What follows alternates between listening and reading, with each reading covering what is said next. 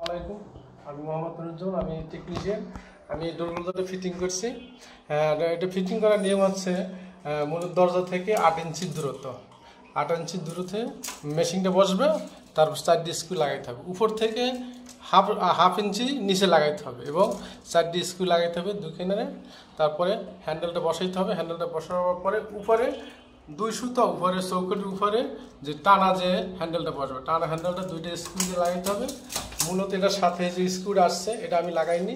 এটা পরবর্তী চেঞ্জ করার জন্য আমি এক্সট্রা স্ক্রু লাগাই দিয়েছি নর্মাল যেখানে খুলতে সুবিধা হয়। এই জন্য। এবং এটা খুব ভালো ডোরগোলদার কিংসের এবং ইজিভাবে এটা কাজ করে।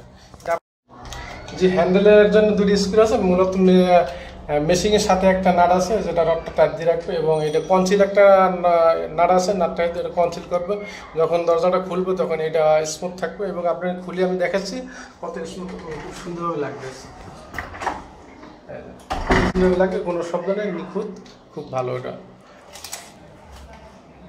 এবং এনে দুইটা যে টেকনিক দুইটা নাট আছে নাট দুটো হলে সোলো এবং দ্রুত আসার জন্য সোলো করতে একটা নাইট লুজ দিতে হবে এবং দ্রুত আসতে একটা নাট টাইট দিতে হবে। আসসালামু আলাইকুম, আমি মোহাম্মদ নুরুজ্জামান টেকনিশিয়ান আমি ডোর ক্লোজার এবং ডোর লক হ্যান্ডেল লক যাবতীয় সব কিছু ফিটিং করি। আমার নাম্বারটা নিচে দেওয়া আছে।